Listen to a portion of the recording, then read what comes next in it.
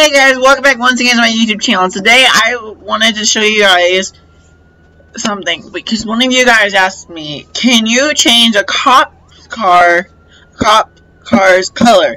And that's what we're to check out today. So we're going to do that. I am at the color changing place and we're going to figure that out.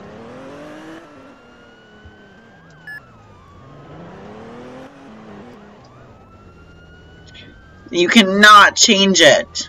As you can see, you cannot change it. I know this is going to be one of my shorter videos, but I hope you guys enjoyed.